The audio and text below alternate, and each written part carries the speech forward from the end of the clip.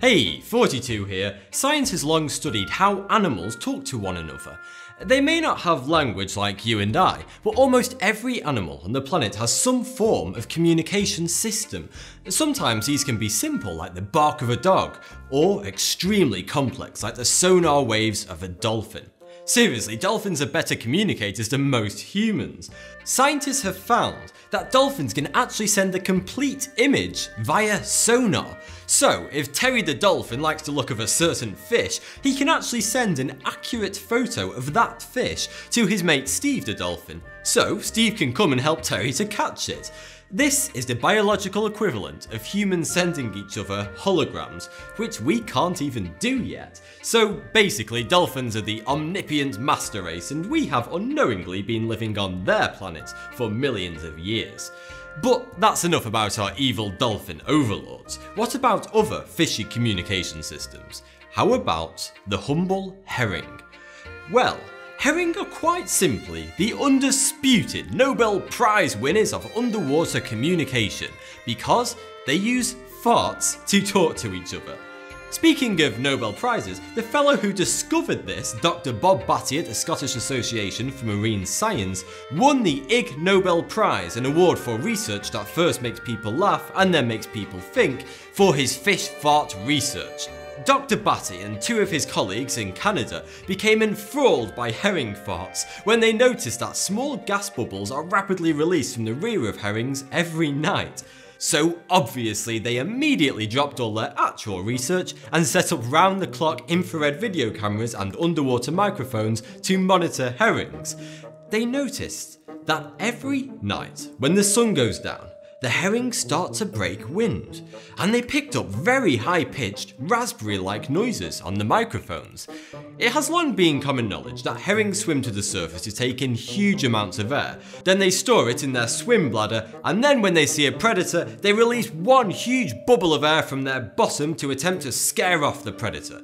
But through Bob Batty and his Canadian colleagues' research, we now know that they do a very similar thing to talk to the rest of their shoal.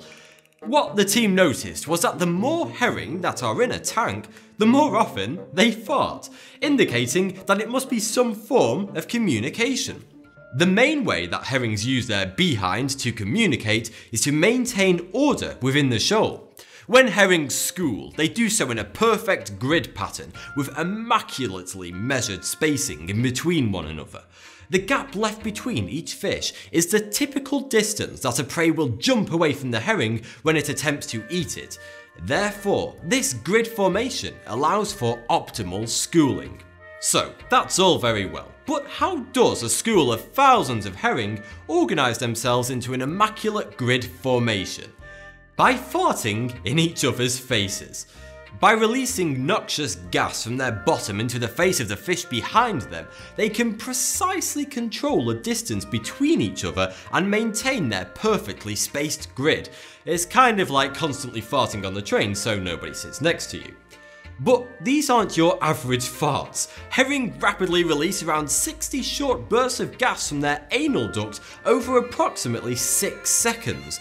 The resulting sound is a single, continuous burst of high frequency farts. Scientists have named these FRTs, I'm not kidding, which stands for Fast Repetitive Tick Sounds. The benefit of this noise is that most other fish can't hear this high pitched farting sound, but herring can.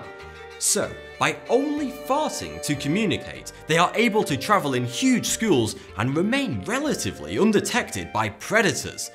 In 1994, Sweden almost went to war with Russia over herring farts. The Swedish military detected an almost metallic clicking sound underwater, incredibly similar to the noise produced by Russian submarines. Sweden went on high alert and dispatched military units to search for intruders within their waters. Sweden even wrote a letter to Russia demanding them to withdraw their submarines from their waters at once. But they quickly swept the whole thing under the rug when a Swedish scientist discovered that the sound they recorded was not enemy submarines, but a school of thousands of farting herrings. Nature is weird, and sometimes it seems like evolution has totally lost it. It's not just herring though, humans do some pretty strange stuff too. But no matter how weird you think you are, just remember, at least you don't talk out of your arse. Unless your name is Donald Trump. Thanks for watching. Normally, governments combat obesity with hopeless advertising campaigns and even taxing junk food. But Japan went the extra mile and simply made it illegal to be fat. Do you ever hear a noise? Not a bump in the night per se, but a hum.